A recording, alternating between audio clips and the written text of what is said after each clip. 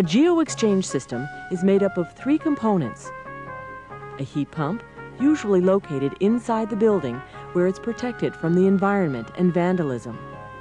An underground heat exchanger to act as a heat sink to store energy in the earth when cooling and to extract energy from the earth when heating. And a distribution system, such as air ducts or hydronic radiant floor tubing, to provide comfort control for the building space. The two types of heat exchangers commonly used are open loop and closed loop.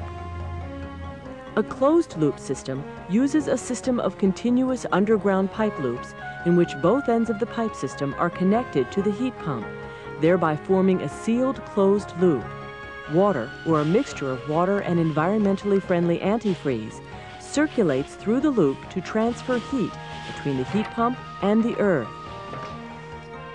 In some installations, the pipes of a closed loop system can be placed in a horizontal trench dug below the frost line. The number of pipes in each trench and the number of trenches needed will vary depending on the size of the geo-exchange system being installed and the type of soil found in the area. To minimize trenching, slinky coils, spring-like coils of polyethylene pipe, can often be used to increase the pipe surface area and thus the heat exchange per foot of trench. Another way to increase the heat exchange rate of a closed-loop system is to take advantage of the naturally higher heat transfer capability of water over soil or rock.